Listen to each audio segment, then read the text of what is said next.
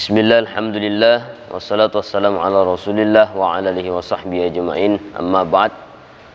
Saudara-saudaraku, hari ini adalah hari Jumat tanggal 1 Mei. Ya, dan sekarang sudah pukul 11.00 Waktu Indonesia Tengah. Tepatnya di Sengkang sudah jam 11 pas dan kita lihat ini saya berada di Masjid Lailatul Qadri. Ini masih kosong. Belum ada tanda-tanda seperti biasa. Biasanya kalau sudah jam 11 itu sudah mulai berdatangan jemaah Jumat.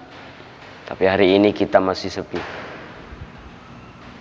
Ya, kita masih dihimbau untuk tidak melaksanakan sholat Jumat dulu di masjid kita ganti dengan sholat zuhur di rumah.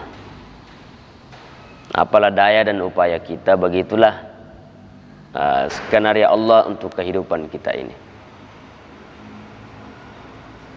Kita punya aturan negara dan juga punya aturan agama. Agama sudah mengatur segala sesuatunya tentang apa yang akan terjadi dalam kehidupan kita Dan itu jangan menjadi sebab kita makin jauh dan makin bodoh di hadapan Allah Subhanahu wa taala. Insyaallah di hari ke-8 puasa ini saya ingin menyampaikan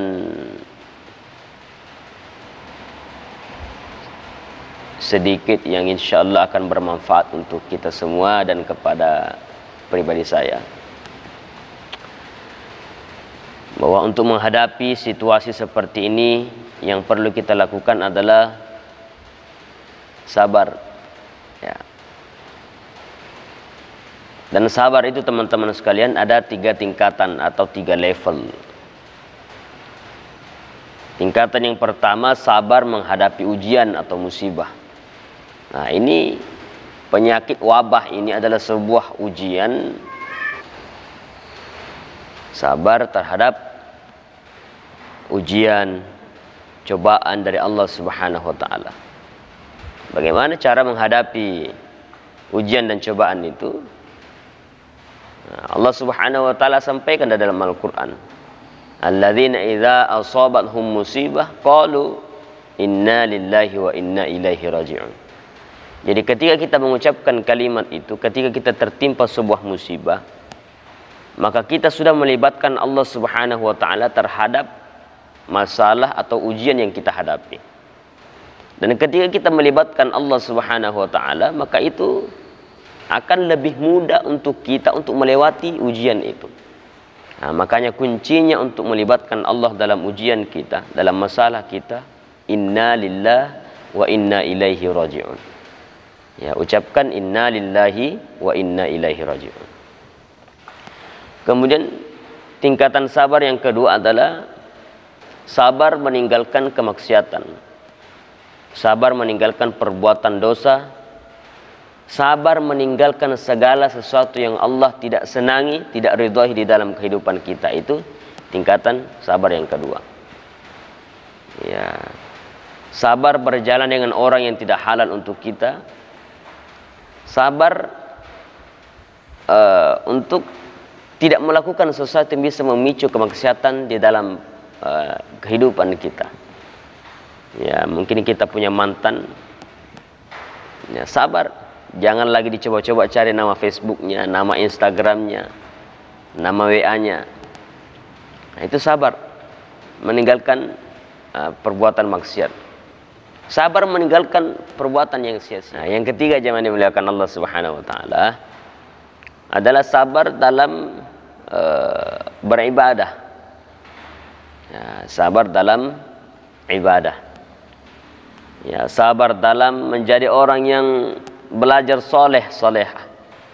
Sabar dalam salat, puasa, baca Quran. Apalagi yang ada bulan puasa, sabar kita dalam berpuasa.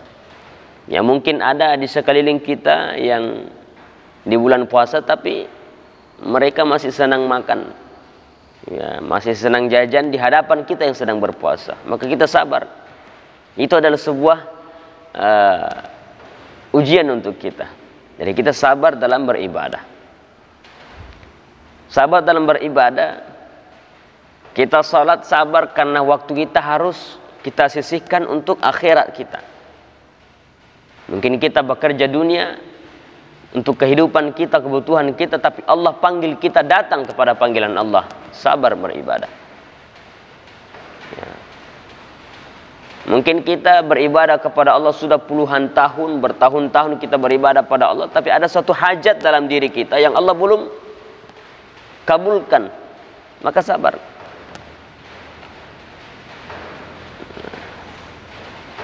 Jangan dimuliakan Allah Subhanahu wa taala. Ya, saya kira seperti itu yang sempat sampaikan walaupun singkat mudah-mudahan uh, bisa menjadi sebuah uh, bahan renungan untuk kita.